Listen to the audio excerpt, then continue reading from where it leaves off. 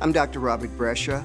I am director of the Palliative Care Institute and director of psychiatric services. The Palliative Care Institute is the education and research division of Calvary Hospital. Each year, more than 1,000 medical students, residents, fellows, and other healthcare professionals from throughout the New York metropolitan area and literally from around the world are trained in Calvary's model of expert palliative care through the Palliative Care Institute. In fact, it has been identified as an international center for training in palliative care by the National Cancer Institute. If you have any interest in learning more about Calvary's training programs in palliative care, please don't hesitate to contact us. Thank you very much. I am Calvary Care.